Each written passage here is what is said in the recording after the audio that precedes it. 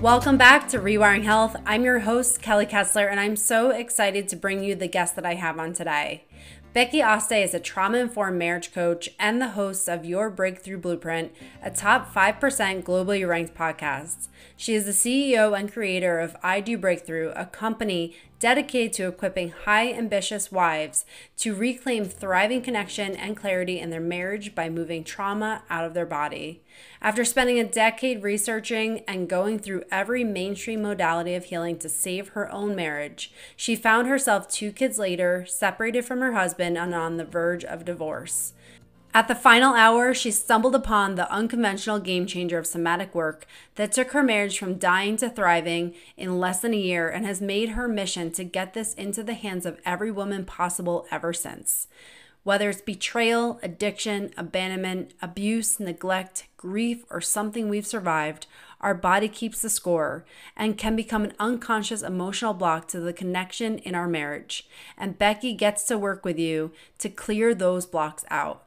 This is such a profound conversation and something that is so significant and can really transport people into a much better place in their relationship. I'm so honored that Becky shared her journey and her experience with us today.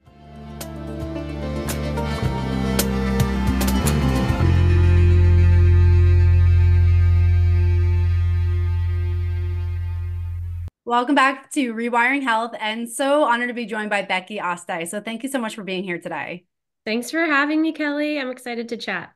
Yeah, me too. And this is going to be something that is so profound that what you speak about and what you do and how you help people. So, first, I would just love to hear your story. How did you get into this place where you are helping people with their marriage? Yeah, well, it's not because I've had a squeaky clean marriage or have been like the epitome of this is how you do it. It was definitely the opposite. Um, my husband and I met young in college and we got married early. I was 21 and he was 23. And I noticed pretty early on this dynamic between us that at the time the only words I had for it was chase and run, where I felt like I was chasing, he was running. And when we were good, we were good. But when we were triggered or in a fight, that was kind of the dance. And that just picked up speed through our marriage. And so it reached its head. And over the years, I found different words for it, you know, as I got into self development and therapy and all of the things, um, different words like codependency and addiction or anxious attachment style, that would be me. And then the more avoidant type, that was him. Uh, but it still wasn't helping. The more words I learned, I was still noticing us get further and further until year 10 of our marriage that's when it reached its head and we ended up separating. We were talking about divorce. It was a terrifying time. My nervous system in my journals back then was like dear god my nervous system is on fire. I don't i didn't even know what that meant at the time but everything just felt like it was falling apart. Insomnia you know eczema breakouts. I was crazy on this hamster wheel of achievement at work and it seemed to be achieving more the worse my marriage got but behind the scenes things were getting pretty bad. And so that was when i stumbled upon somatic work which if your listeners are new to that word it just means pertaining to the body really in contrast to the mind.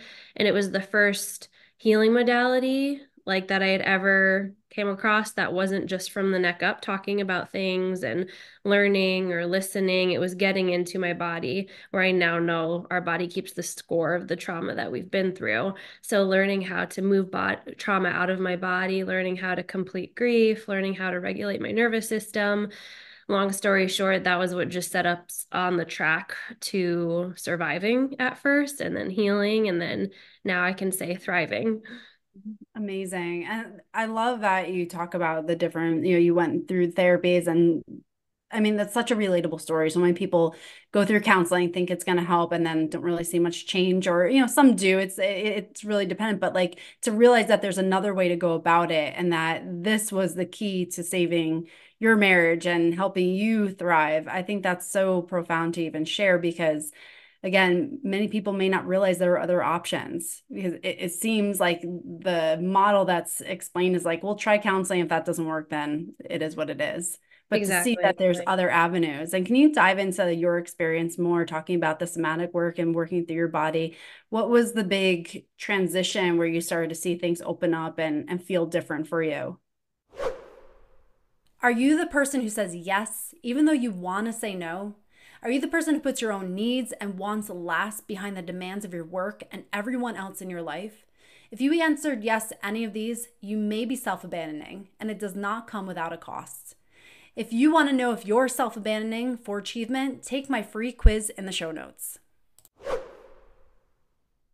Yeah, I did a group coaching program online. So it was a woman that I stumbled upon uh, on Instagram. And this was very not my norm to book a call with a stranger off Instagram. Like any therapy I'd ever done was referred to by a friend or somebody that I knew. So that felt like, what am I doing? But it also felt very much intuitive before I really knew how to trust my intuition. It felt like I'm meant to be in her space. So it was a group coaching program. And at first it was almost too simple. It was annoying. And it was things that triggered me because it just seemed too basic. Like I had scoured the earth and like turned over every stone and done all these, you know, intensives and we did tried EMDR, hypnotherapy and I'm like you're telling me to put my hand over my heart and speak self self compassionately to myself. Like I was angry. I was like this is so stupid. I don't have time for this. I have to mm-hmm. save our marriage. And things like as simple as grounding techniques when you're triggered. So in a moment that was really triggering for me. Uh, just for example, we betrayal trauma was like in our past. And so I was very triggered by a phone vibrating, like who's texting you? Who who are you talking to? You know, and I would really lose my mind and get caught down these rabbit holes of scouring through his search history and stuff like that. So instead of continuing to do that, because my new coach was inviting me to consider that was keeping me caught in my trauma, I decided to pull for grounding techniques. So, one that I used a lot was the five senses. So, when I felt triggered, I would just stop and name five things I could see, four things I could hear, three things I could touch, two things I could smell, one thing I could taste. And I kept doing that on repeat every time I was triggered. And I was noticing as I was doing that more and more, the waves and the triggers felt less in, less intense. But then my husband also started to just notice a difference in me. And if you ask him today, like, what was the change, he'll point to my energy. He was like, it wasn't something different she said or some new, you know, profound idea she had. It was just how I felt in Becky's presence. For the first time, she felt settled, more slow, more anchored, more like, she's really got herself, even when he was telling me things that were under undesirable for me to hear. Mm-hmm. Yeah, wow. It's and I and I love that. It's just it just wasn't as as impactful each time when you went through anything. So like that's such a profound point. It's not like everything is like roses and butterflies all the time, but it's just not impacting you in such a deep way. And I know you mentioned triggers, and this is something that you know I think many people know what triggers are. But can you talk about triggers and what that tells us about ourselves and the information behind triggers? Yeah, I mean, I used to just be terrified of triggers lurking around any corner. I'm like, when's the next shoe gonna drop? Like, would mm-hmm. try to control and design my day, my moments, my marriage to avoid triggers at all costs. And now I see them differently. I see them as these like gentle invitations that, hey, there's still some unhealed wounds mm-hmm. deeper down. Let's not be afraid of them. Let's be curious. Let's lean in and really ask, what are these triggers trying to teach us? So triggers are basically just hints and indicators that, oh, there's still some trauma residing in our body or lived experience from something we've been through in the past. It's a it's a thing happening now that brings us back to a memory of something that happened before. Mm-hmm. And that's a good thing. Like it shows that our nervous system is working. It shows that, hey, our nervous system is wisely working to protect us and wants to keep us from future danger.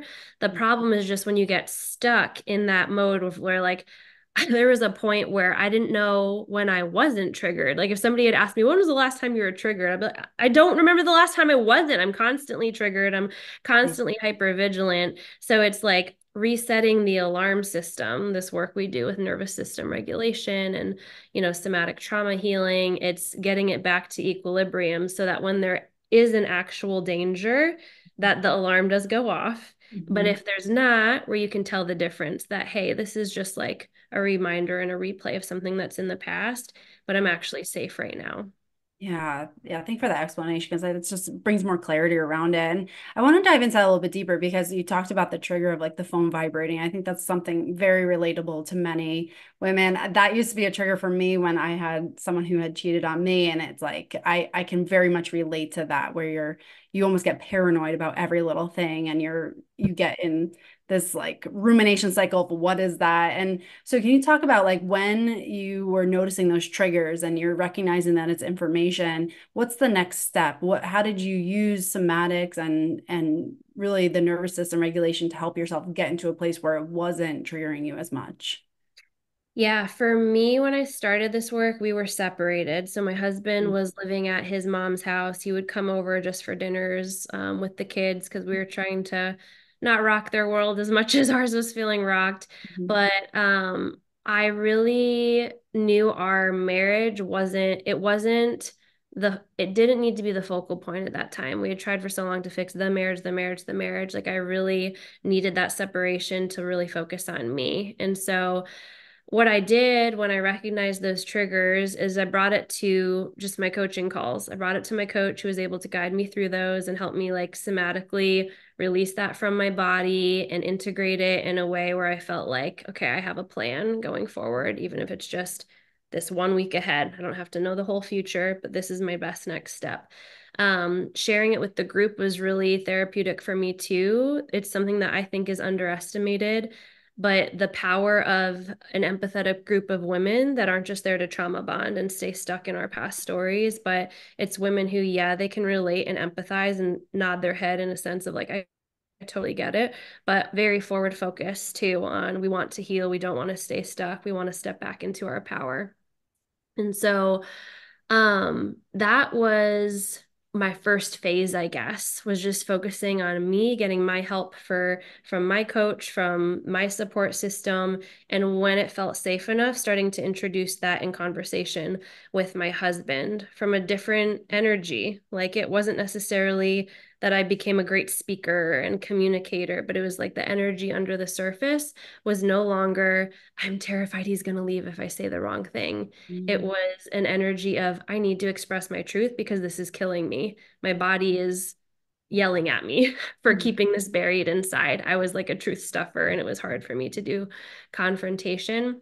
And so what I when the time came would start to express to him was basically what I had practiced with my coach and my peers all of that time before I was ready to bring it now to the marriage. And so I'd say things like when you said this or when this happened, this is how I noticed my body respond. My throat got all tight, my you know, held my breath, like whatever I noticed in my body. And then I would share these were the stories or the thoughts that were going through my head. This is how I felt. This is what I need right now. And my old, you know, pattern would be to try to get that from you or control or whatever, you know, my old dance was. But now this is what I'm doing differently to let him know this is all me taking responsibility. This is me just giving him a window glimpse into what's happening in my body and my mind when this thing happens and letting him know this is how I'm going to meet my own need. If you want to join me and support me in that, this is what you can do, but I'm going to be okay either way, you know, if you're not able to in this moment. And that was really different for us. Yeah, that, I love that. And I just love how you talk about the energy and how it, you're coming from a different place. And that that's huge when you're coming from like a place of fear. It's like you're backed up against the wall and you it's just you're a caged animal, you know, you're gonna do whatever you can to like not like be hurt. And I know you said safety a lot of times. It's like again that nervous system when you feel like you're not safe, you're gonna just react. And so I love how when you talk about the transition of your energy that you're approaching it from a different place. And then can you talk about how it was received from your husband where, from where you were to where now you're coming at it from a different energy? Yeah, I kind of laugh at that question because at mm-hmm. first it was not received well. And with many of my clients, at first it's like, where the hell is my wife? Like, who is this? And where is my wife? You know, type energy.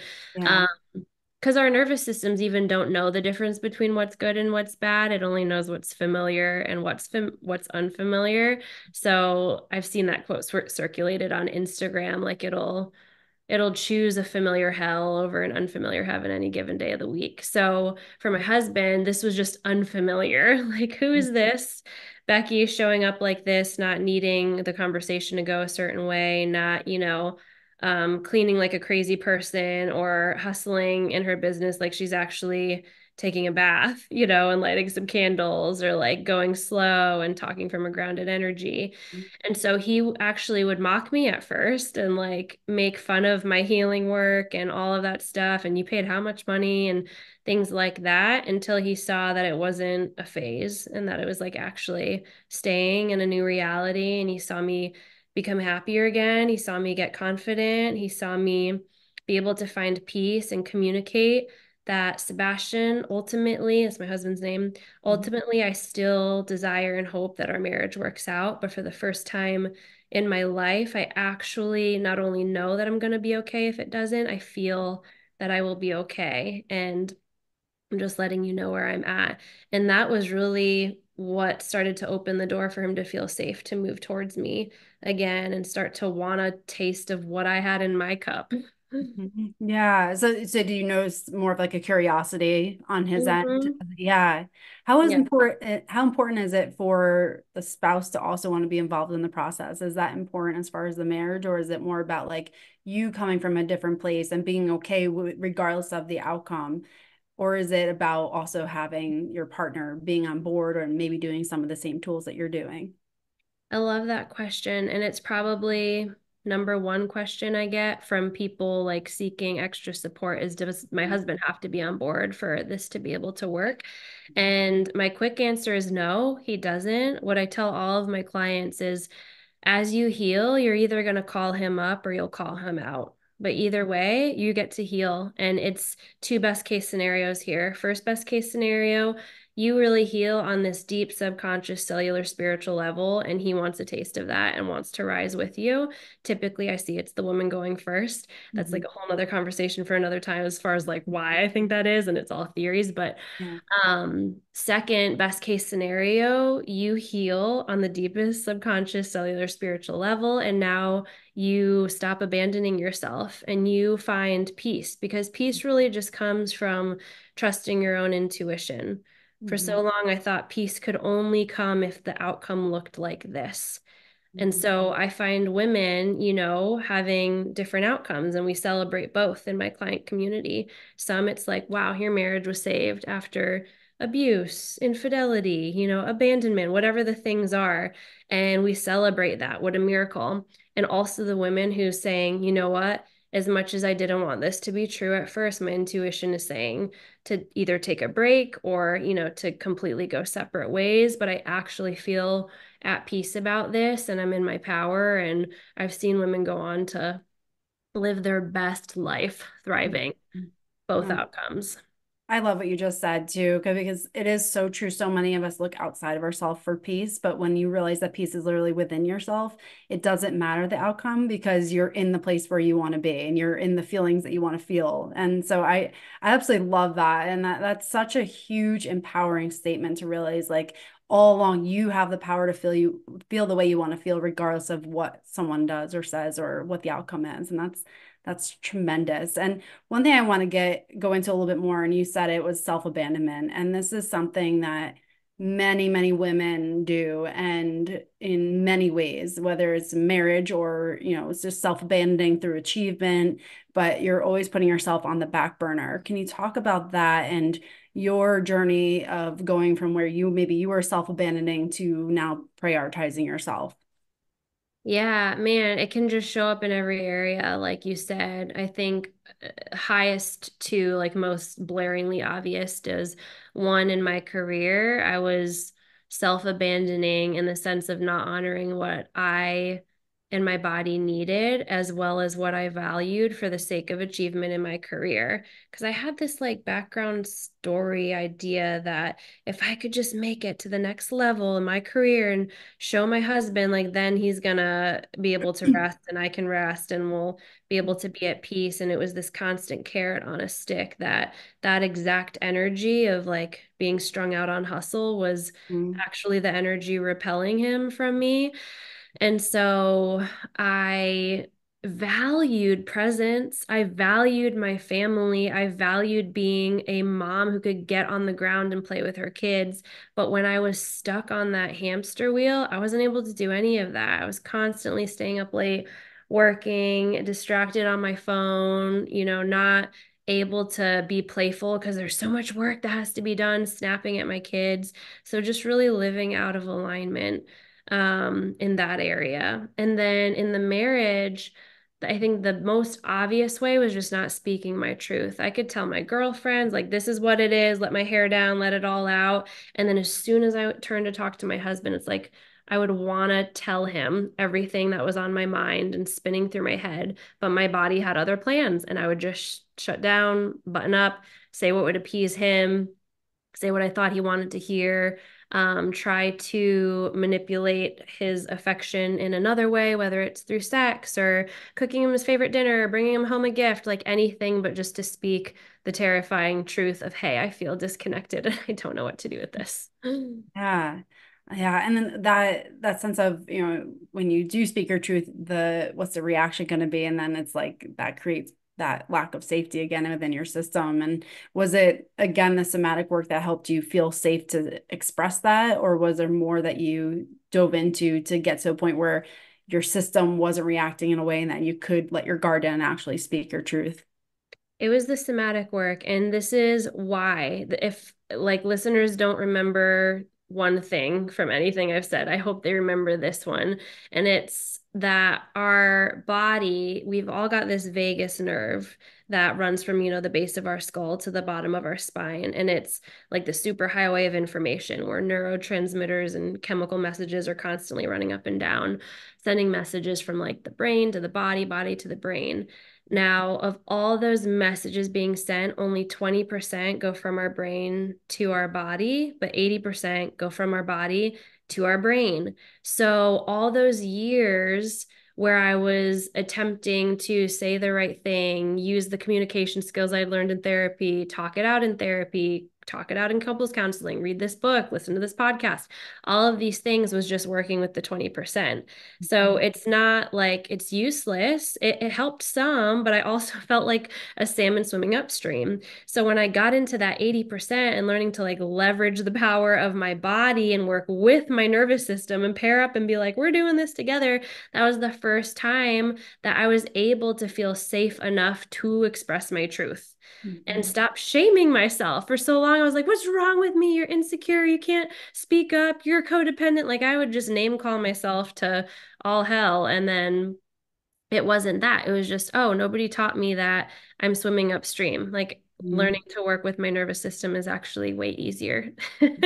100% and like i love that you just shared that too because that is that's it like just recognizing the power that you have within yourself and that your body is literally the, that's the, the, truth seeker and the truth sender and it's going to tell you exactly where you are and I, I think just that is such a key point i'm so glad you shared it because that's something that for anyone listening that hasn't pursued that avenue here you go like this is a huge key piece that maybe you've missed this whole time and this could literally be the key to opening up your life and whatever you want in your life so i am so grateful that you shared that and I want to um, go into more about how can we create harmony in some of the closest relationships that we have? Because this can be something like even if it's you know whether it's a marriage or a family member or children like how do we create that? And is it within ourselves or is it creating it between others that we mm-hmm. care about yeah, I think where we get stuck is we think, yeah, harmony, our mind immediately goes to a relationship with two people.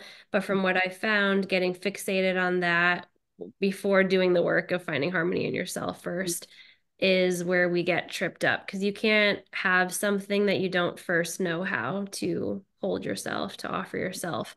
And so it sounds nice, right? Like, oh, harmony in myself, cool. But like practically speaking, what I've found is that learning these tools has been the only thing that has helped me really be able to experience like oh this is what that word alignment means. Like i'm in alignment meaning my actions and my values are like lining up. I'm not valuing one thing and then doing a completely different thing like for the first time i feel safe enough to integrate the two and like i'm actually showing up as her. I've never showed up as her. Wow this is what it feels like.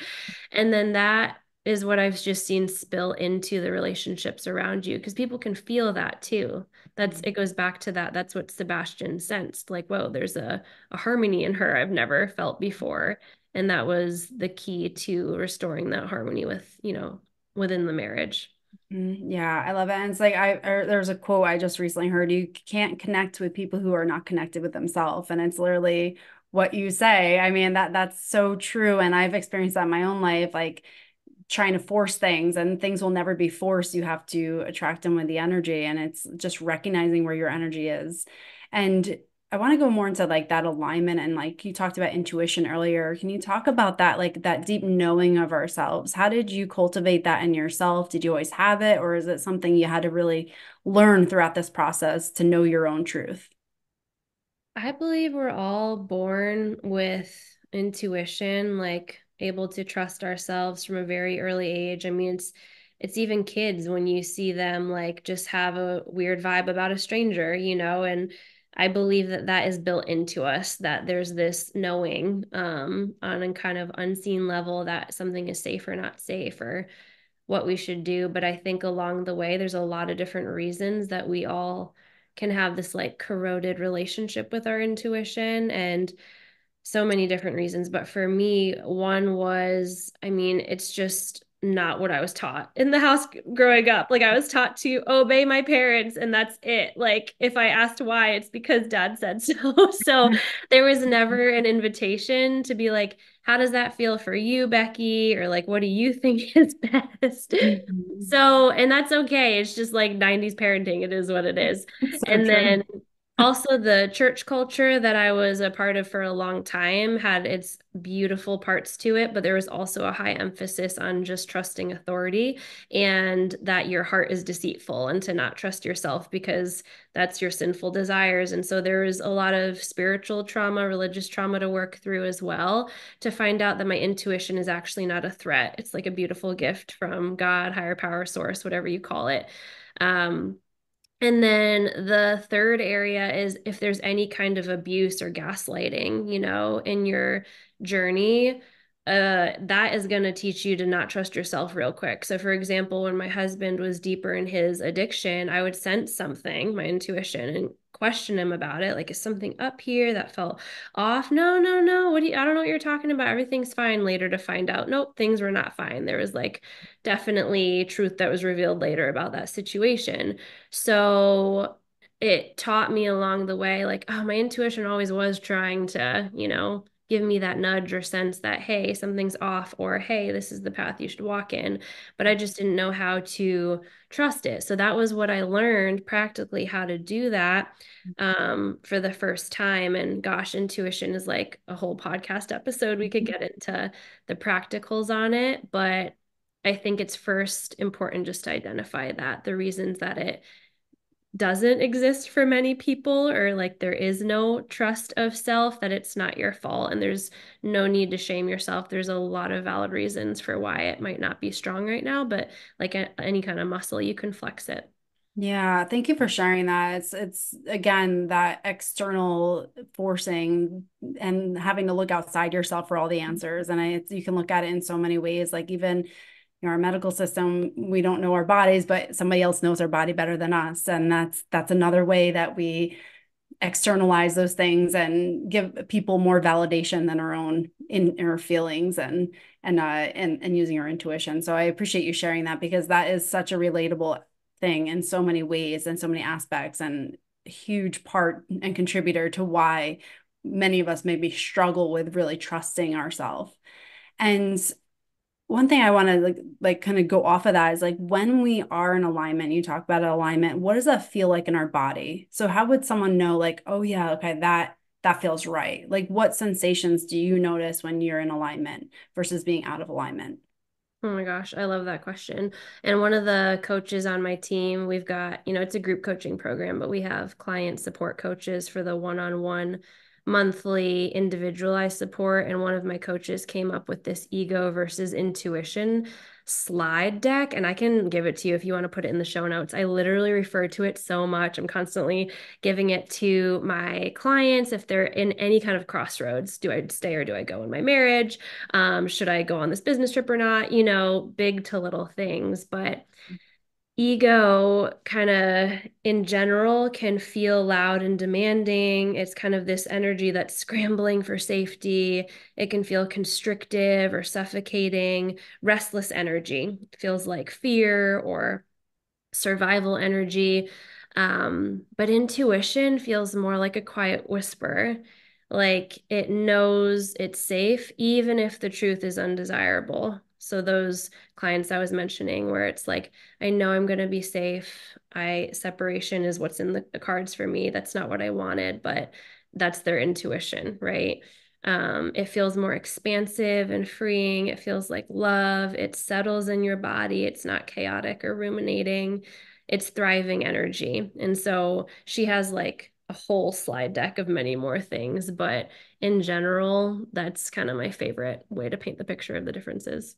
Yeah, I love that. And again, it's just, it's again so relatable. I mean, you can I think everyone who's listening to this can experience and think back of a time like they they felt that way, like constricted, tight, and feeling their body like that heart pounding, like this does not feel good. It literally like a bear is in front of you, like that feeling versus feeling like, oh my God, like this feels great, you know, that joyous, like expansive feeling. So I I love that you differentiate that because that's such a great way to for someone to indicate whether they're on the right path or maybe not on the right path. And so thank you for sharing that. And for someone who wanted to connect with you and go further and really work with you, where can they find you? Yeah, Instagram, Becky underscore Aste, A S T E.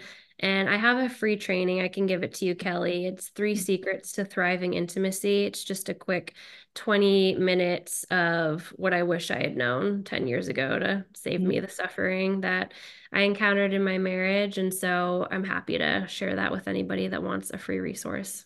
Yeah, that would be great. And I'll, I'll put everything in the show notes. So for anyone listening, definitely check that out, grab the free resource and start your journey to feeling more expansive and free in your life. And I just want to thank you again for everything you shared today. And I really know this these messages are going to help somebody who's maybe feeling really stuck in a relationship and is maybe at that point where they need something different. And this literally could be the answer for them. So thank you. Thank you so much, Kelly, for having me on. Absolutely. And again, please, if you enjoy this episode, please share it with someone who you think could benefit for, with it from it. And uh, thank you again, Becky, for being on today. Hey there. Thanks for listening to this episode. I hope it serves you well to start rewiring your brain to create the life you desire. If you found value in this, please share it with a friend and tag me on Facebook or Instagram at Dr. Kelly Kessler.